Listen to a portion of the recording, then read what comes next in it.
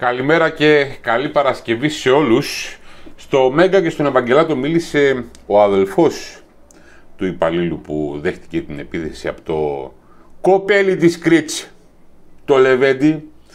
Α, πριν πάμε να δούμε το απόσπασμα, διαβάζω σε διάφορα sites ότι ο πρώην υπουργός το είχε, είχε ξανακάνει τέτοια συμπεριφορά και διαβάζω ότι ανοίγουν στόματα για τον Ταΐ Αβγενάκη. Είχε κλειδώσει στέλεχος κρατικής εταιρείας στο γραφείο του. Α πάμε να δούμε πώς έκλεινε τις δουλειές ο τότε υπουργός. Σύμφωνα με το ειδήσεις, ο Λευτέρης Αβγενάκης είχε επιδείξει παρόμοιες συμπεριφορές και στο παρελθόν. Από τη θέση του Υφυπουργού Αθλητισμού. Εδώ θα προσθέσω ότι έλεγε καταδικάζουμε και τη βία τότε, έτσι.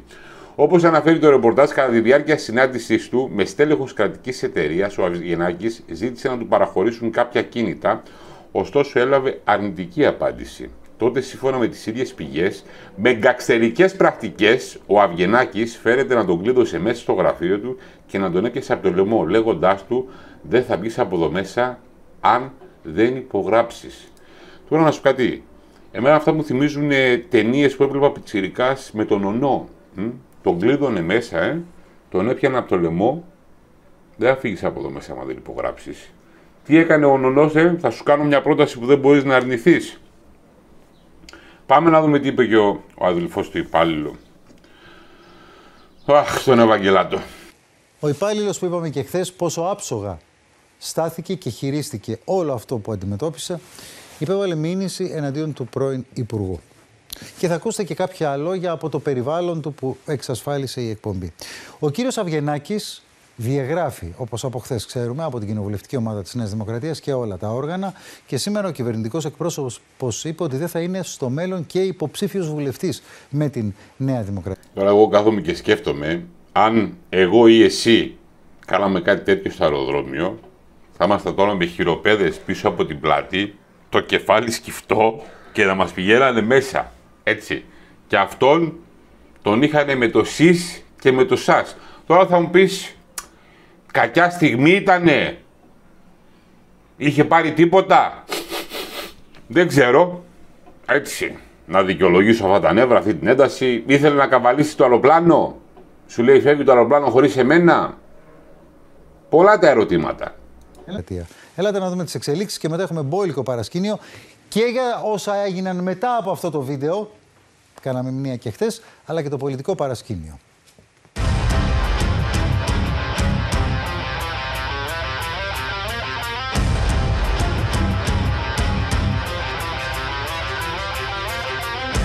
Είναι ο 22χρονος υπάλληλος του αεροδρομίου που το πρωί της Παρασκευής δέχτηκε επίθεση από τον πρώην Υπουργό Λευτέρη Αυγενάκη επειδή έχασε την πτήση του. Όλοι μιλούν για ένα νεαρό χαμηλών τόνων που εργάζεται στη συγκεκριμένη αεροπορική εταιρεία τα τελευταία δύο χρόνια. Ο 22χρονος άθελά του βρέθηκε να πρωταγωνιστεί σε ένα βίντεο που ποτέ δεν φανταζόταν. Όπως κατέγραψε κάμερα ασφαλείας, ο νεαρός υπάλληλος δέχτηκε επίθεση το πρωί της Παρασκευής από τον εξοργισμένο πρώην Υπουργό, ο οποίος μόλις είχε χάσει την πτήση του και επιχειρούσε να μιλήσει με κάποιον υπεύθυνο, αρπάζοντας το τηλέφωνο μέσα από τα χέρια του υπαλλήλου. Ήταν ευριασμένο το κοπέλι. Ήθελε να κατέβει κάτω στην Κρίτς, να μαζέψει τις ελιές. Εφόσον θελήσει ο εργαζόμενος γεννηθεί νομικά, είναι αυτονόητο ότι θα υπάρξει της ασυλία μου, εννοείται, και είμαι έτοιμος να, να, να λάβω τις ευθύνες μου. Λίγες ώρες μετά, ο εργαζόμενος κατέθεσε μήνυση σε βάρος του Λευτέρη Αυγενάκη για εξύβριση και απειλή. Η διαγραφή του από την κοινοβουλευτική ομάδα της Νέας Δημοκρατίας ήταν δεδομένη μετά από τέτοιο επεισόδιο, λένε από το Μέγαρο Μαξίμου. Δεν το κάνουν όλοι, το κάνουμε Μητσοτάκη. Παρά αυτό να του το δώσουμε. Επομένως, ναι, ήταν μια απαράδεκτη συμπεριφορά και επιβλήθη σε επίπεδο κοινοβουλευτικό η μέγιστη ποινή που μπορεί να επιβληθεί, που είναι η αποπομπή από την ομάδα της κοινοβουλευτικής, από την κοινοβουλευτική ομάδα της Δημοκρατίας. Την ίδια ώρα επιβεβαιώθηκε. Είπε ο Τσεκουράτος, έτσι.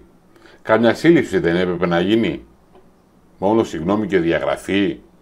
Θα μου πεις, καταστρέφηκε η πολιτική του καριέρα; Να, Επιβεβαιώνεται η πληροφορία πως ο πρώην Υπουργός την ώρα του διαπληκτισμού ενημέρωσε πως έχει βουλευτική ασυλία. Ανέφερε την ασυλία και πολύ καλά έκανε, γιατί κάποιοι μπορεί να μην τον αναγνώρισαν ότι είναι βουλευτής. Άλλωστε το γνωρίζουν οι αστυνομικοί ότι σε αυτές τις περιπτώσεις δεν συλλαμβάνονται για πλημελήματα οι βουλευτές. Σε κάθε περίπτωση όμως, αν ο υπάλληλος επιθυμούσε εκείνη τη στιγμή να υποβάλει μήνυση, θα προσαγάγονταν και οι δύο στην αστυνομική διεύθυνση. Η μήνυση υποβλήθηκε πέντε μέρες αργότερα, μετά τη δημοσιοποίηση του βίντεο που πυροδότησε μπαράζ εξελίξεων, με το Λευτέρη Αυγενάκη να διαγράφεται αρχικά από την κοινοβουλευτική ομάδα της Νέας Δημοκρατίας και στη συνέχεια να τίθεται και εκτός Βουλής.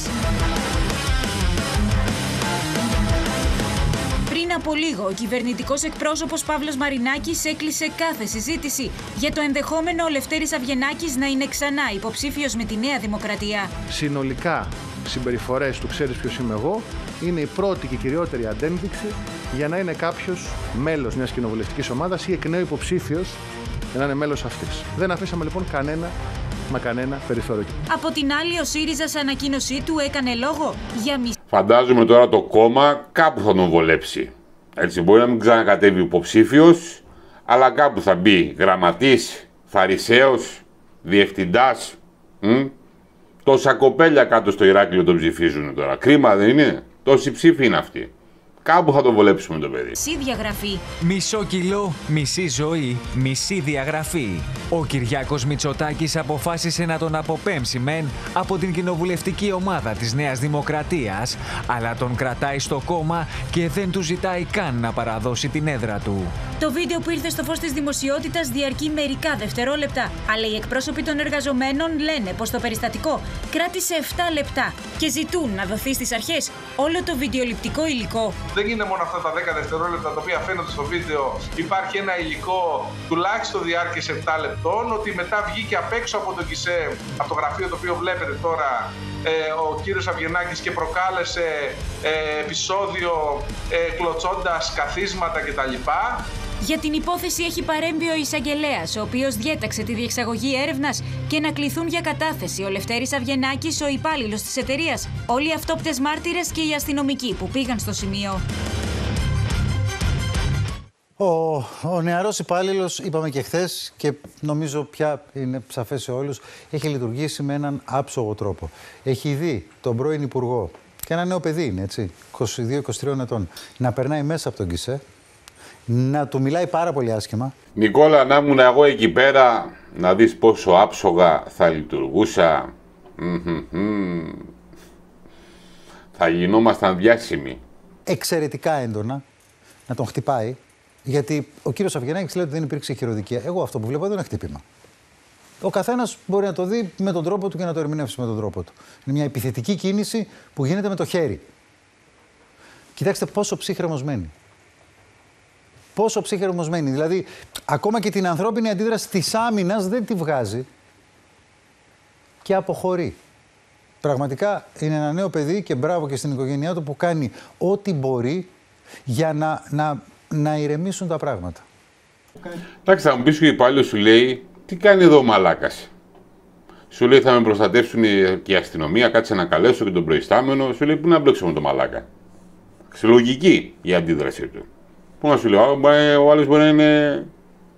να το έχει κάψει. Απέναντι σε έναν άνθρωπο που κάνει ό,τι μπορεί για να τα κάνει χειρότερα.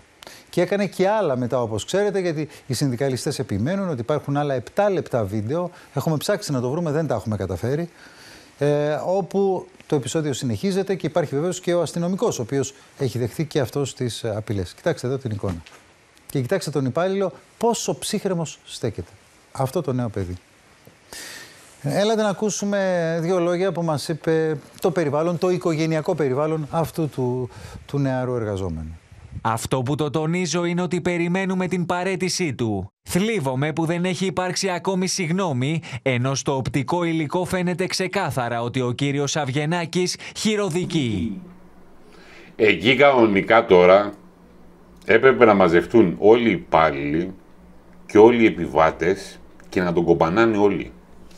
Έτσι, να βλέπω 30-40 άτομα και να τον κομπανάνε από πάνω έτσι. Μπα, μπα, μπα. Έτσι έπρεπε, για να βάλει μυαλό. Και να σου λέει μετά, ξέρεις ποιος είμαι εγώ; Εσείς, ο υπουργός είμαι ρε, με βαράτε. Ο υπουργός είσαι είμαι. Ό,τι νεότερο έχουμε στη διάρκεια της ημέρας, εδώ θα μας να το σχολιάσουμε και αυτό πάντα πρώτοι.